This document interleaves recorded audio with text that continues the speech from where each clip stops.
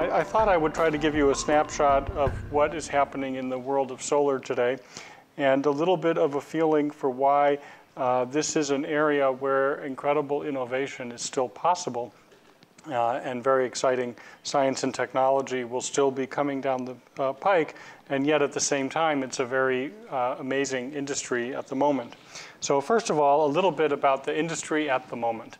Um, remarkably enough, the solar industry is growing at an unbelievable pace.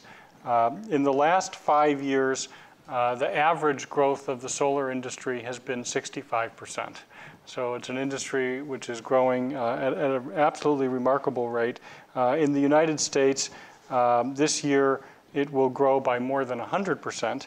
Um, and uh, so, for example, uh, it'll be 772 megawatts. Uh, it was 772 megawatts installed um, in the second quarter, uh, which was 130% um, more than the same quarter the year before. So tremendous growth happening uh, in the industry. And in fact, some amazing uh, statistics just to relay to you to give you a feeling for the vibrance of the industry in terms of uh, the, the, the real accomplishments. On May 25th of 2012 in Germany, um, the um, the German solar industry uh, produced at the peak of the solar radiation in that day uh, 22 gigawatts of power, which represented at that peak uh, one half of all German electricity use for that day was produced by the solar industry. So half of the electricity in Germany on May 25th was produced by solar energy. Uh, at that moment in time. If you looked at that full day, the entire day of May 25th, uh, they produced 190 gigawatt hours of energy, and uh, that was 14% of all electricity uh, use uh, that was produced that day by solar in, in Germany. At, at the same time, the solar installations in Germany continued to grow at record pace, even though in Germany the feed-in tariff is now uh, being brought down very systematically. Yet still, there's growth, and there's a lot of potential still in Germany to have more uh, installed solar capacity. So uh, those are very exciting facts about uh, what's happening. Um, another thing that uh, I wanted to just uh, give you a feeling for, of course, you'll know that, for example, in 1960, going way back, the price of a solar module uh, of a standard size that we would consider a solar module today uh, was a couple of hundred dollars per watt. um, I just looked up the prices for today to see what is the price of a solar module uh, today. And a silicon solar module, uh, the average price today was 67 cents a watt for the module. That's not installed, but that's the price of buying the module, 67 cents, which is well below the dollar a watt uh, threshold. So these are all indicators of a, an incredible, thriving uh, situation.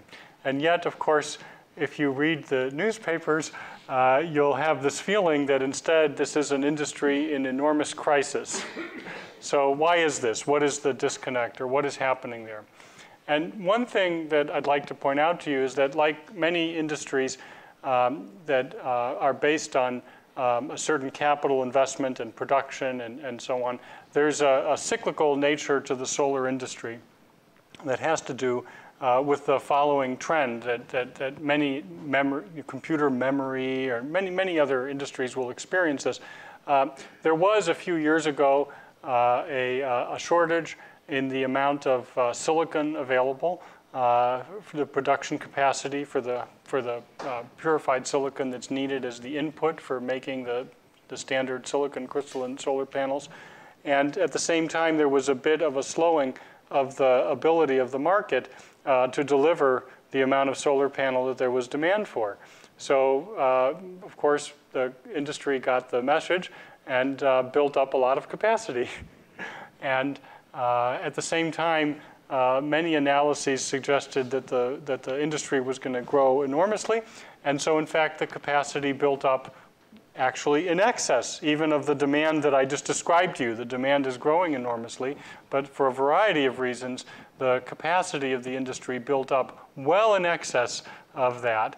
And so today, uh, particularly in China, but uh, in other parts of the world as well, there is more capacity to make solar cells than there is demand. Even though the demand is growing enormously, nonetheless, there's more capacity. And, and so the bottom has fallen out of some of the pricing. And in fact, um, in, in, in China, there's a great deal of angst because enormous investments have been made uh, to establish these uh, solar factories.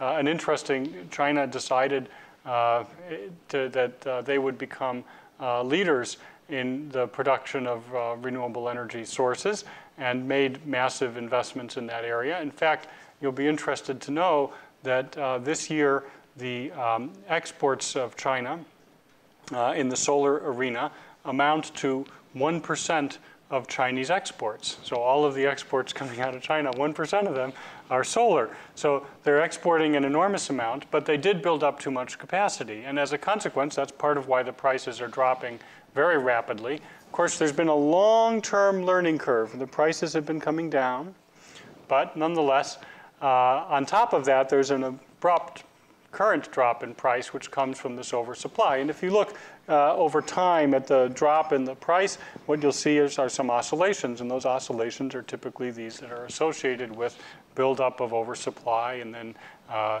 the, the demand catches up and then you know there's a sort of a cyclical nature to that and so we're in the midst of one of those and that's causing a great deal of pain in the solar industry it is uh, causing tremendous difficulty uh, in the um, uh, industries the solar industries in germany uh, and in the united states uh, which are not the low-cost uh, producers, and are you're seeing bankruptcies, which you've read about in the newspapers, and you're seeing tremendous changes in that industry, a lot of um, dislocation in the industry. So uh, that's a reality of what's going on today, and uh, it's very tough on those companies and, and, and on uh, some people uh, that are, the many people that are caught up in that.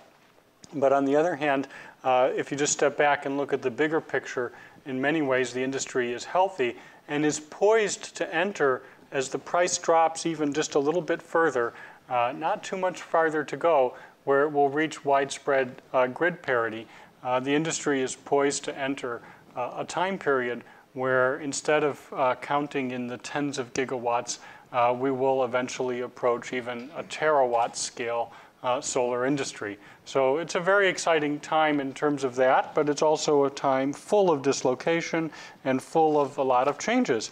And so um, those are my comments about the solar industry and a kind of a snapshot about it at this moment in time. And now I'd like to take a moment and talk with you a little bit about the prospects of solar energy and try to, uh, in terms of uh, cutting edge, what's down the pike, what can happen that's really new in the field of solar energy that could transform it and change it.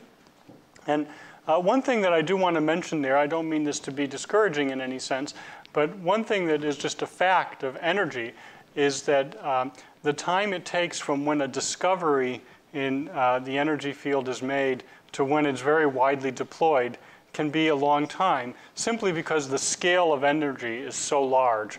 Uh, it takes a long time for it to build up. Uh, of course, you'll know that the first solar cell developed at Bell Laboratories in 1950, uh, roughly, uh, and it's only now that we're finally seeing solar energy being deployed uh, to, to the very, very high uh, degree that I described, and still it's only a small percentage of global energy use. So it does take time, and we have to bear that in mind. Uh, but nonetheless, I'm just going to take a moment and try to give you a feeling for where there are key scientific and technical developments that will ultimately, over time, change the nature of solar. And, and the key one, of course, has to do with what I mentioned to you a moment ago, that in the, um, uh, in the German, uh, I mentioned to you the 22 gigawatts on May 25th. And, and of course, you know that during the day, uh, that peaked up and then came back down again. And, and of course, so the big problem in that sense in solar is um, how much of the grid uh, can withstand this kind of daily uh, cycle uh, of going up and coming down, and how are we going to manage that, and is it practical, and so on. And so fundamentally, the issue uh, around uh, penetration of solar will involve the ability to achieve some version of storage of the solar energy.